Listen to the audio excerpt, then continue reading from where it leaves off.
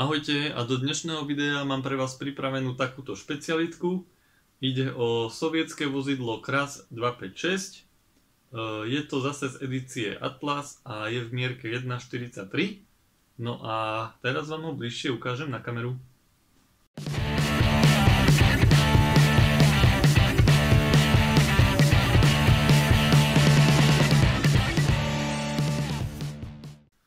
Tak, ako môžete vidieť, aj tento model je dodávaný na takomto podstavci. E, na ňom sú spravené takéto čierne dlaždice. No a tento model je takisto z Atlas edície, je v mierke 1 k 43. No a ide o teda o automobil Kras 256. E, je to takýto vyklapač.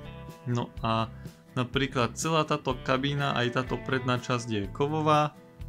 A táto korba je z plastu, s ktorou sa dá takto pekne aj hýbať. Tu máme takéto zásterky. No a ja vám ukážem napríklad takto kabínu, ktorá je veľmi pekne spracovaná. Môžeme tam vidieť napríklad stierače, e, zrkadlá, takisto nejaké smerovky. Spredu má pekne spravené svetla, aj táto pekná predná maska, kde je vlastne aj e, nápis krás takýto čierny nárazník. No a tento model je dosť veľký, na to, že je v mierke 1 k 43, ide o dosť veľké vozidlo. No a ja vám ho teraz už iba takto ešte ukážem na kameru.